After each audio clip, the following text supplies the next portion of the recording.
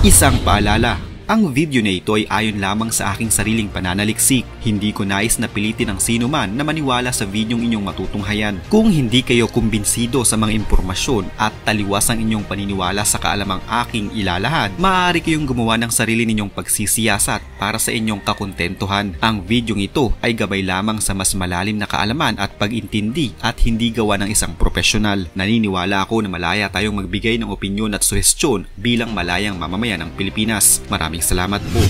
Wala pa ring tigil ang China sa kanilang ginagawang panghihimasok sa ating teritoryo sa West Philippine Sea.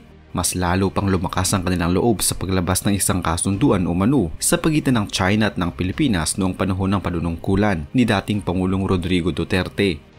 Sinasabi ng China na hindi umano tayo tumutupad sa napag-usapan sa kasunduan. Wala umanong iisang salita ang Pilipinas at sumisira sa naipangakong hindi maaring magdala ng kahit anong klase ng reconstruction materials ang Pilipinas sa BRP Sierra Madre.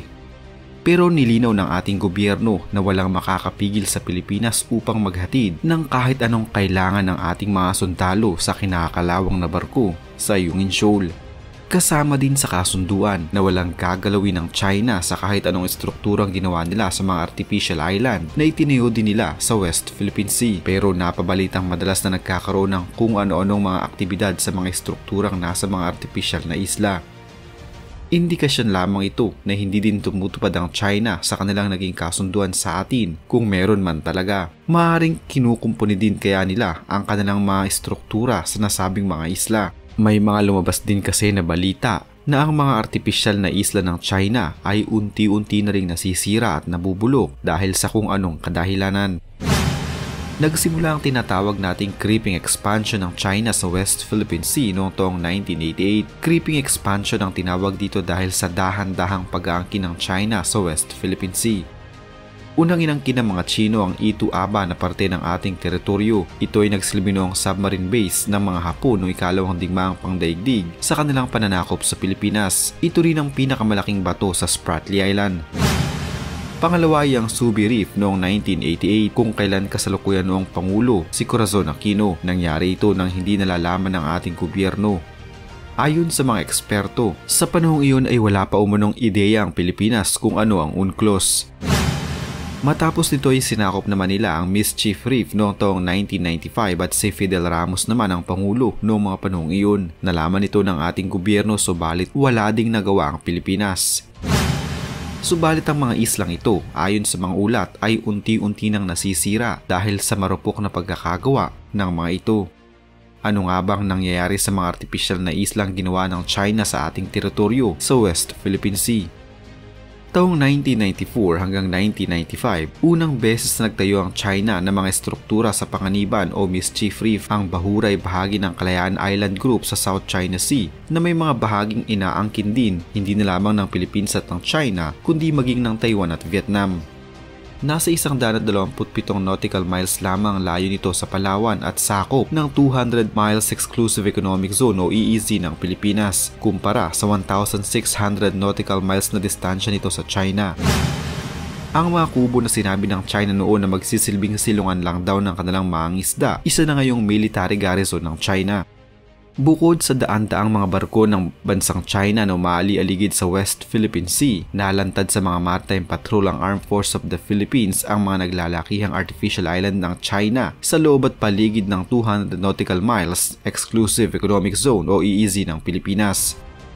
Pinakamalaki sa mga islang ito ay ang Mischief Reef o Panganiban Reef sa layong 130 nautical miles mula sa Palawan. Ito ang pinakamalapit sa mainland ng Pilipinas at pasok sa Exclusive Economic Zone o EEZ ng bansa.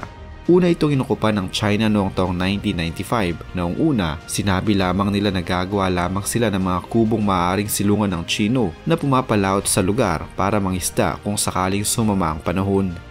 Pero sa ngayon, isa na ito sa pinaka-armadong isla ng China sa West Philippine Sea. May tatlong kilometrong runway ito control tower sa gitna, mga radar dome, matataas na mga gusali at may sports field pa. Ayon sa Asia Maritime Transparency Institute o AMTI, ang mga gusaling ito ay mga Hang-2 guided missile fast attack craft na may kargang tigdalawang missiles. May katlo pang missile boat na nasa gitna naman ng bahura Nakunan din ng AFP Western Command ang mga missile boat na ito noong mga nakaraang buwan at hindi umano ito ang unang beses na nakita ang mga naturang barko sa lugar. Ayon sa isang maritime expert, siguradong magdadala ng bagong banta sa Pilipinas ang mga missile boats na ito. May dalaw no EEZ ng Pilipinas. Naroon naman ang Quarteron Reef o Calderon Reef Napakaraming puno dito at tila may mga higanteng tore na nakatago sa mga ito. Ayon sa AM, ang pagkukupa ng China sa pitong islang ito sa loob at paligid ng Exclusive Economic Zone o EEZ ng Pilipinas ay ginawa nila para bakuran ng karagatan at palakasin ang posisyon nito sa pagangkin ng China sa buong South China Sea at kasama na nga dito ang West Philippine Sea. Ayon sa marami, Tila kinakarma na umano ang China dahil ang mga artipisyal na islang kanilang ipinatayo at ginastosan ng malaki ay unti-unti nang nasisira sa pagdaan ng panahon. Sa ngayon kasi unti-unti nang nawawala ng silbi ang mga isla ng China may mga ulat na ang madali ang pagtabon o pagtambak ng lupa, buhangin at durog na koral sa mga isla na ginawa noon ng China ay may masamang resulta sa pagdaan ng panahon. Dahil sa mabilisan lamang itong ginawa, hindi gaanong napatag ng maayos ang lupa sa ilalim ng pundasyon at madali lamang itong gumalaw dahil na rin sa malambot ang nakapaligid. Kahit na konkreto na ang nasa ibabaw nito, ang nasa ilalim naman ay nasa tubig. Subalit hindi ang paglubog ang tunay na problemang nakikita ng mga eksperto sa mga ginawang isla. Ang tiyak umunong haharapin ng mga inchik ay ang structural integrity. Sa madaling salita, sa loob lamang ng ilang taon ay hihina ang kanilang mga ipinatayo.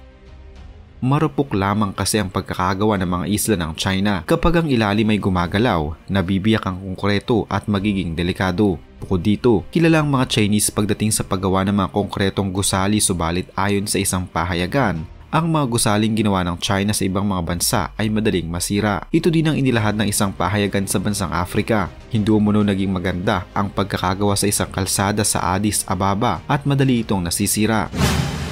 Ayon sa mga ulat, makaraan lamang umano ang ilang taon, maraming mga aksidente na ang nararanasan sa kanilang mga ginawang proyekto. Sa The Wall Street Journal, binanggit ang problema sa mga konkretong haligi ng dam sa bansang Ecuador na ginawa ng mga Chinese. Ito ang itinuturing na pinakamalaking proyekto na ginawa sa bansa. Subalit ayon sa ulat, maraming ipinatayong gusali sa ilalim ng Belt and Road Initiative ng mga komunista madaling masisira. Kaya kahit matagal nang tapos sa mga isla ay hindi ito magawang base militar para sa mga kasundaluhan. Gayunpaman, marami mga Pilipino ang kalyado ng mga komunista ang naninindigan ng gawang China ay ang pinakamatibay sa buong mundo at umaasa ang mga ito na balang araw mangingibabaw pa rin ang Partido Komunista mula sa China sa buong Asya. Sa huli, malalaman pa din naman kung ang mga isla ay tunay na matibay o gawang ampaw.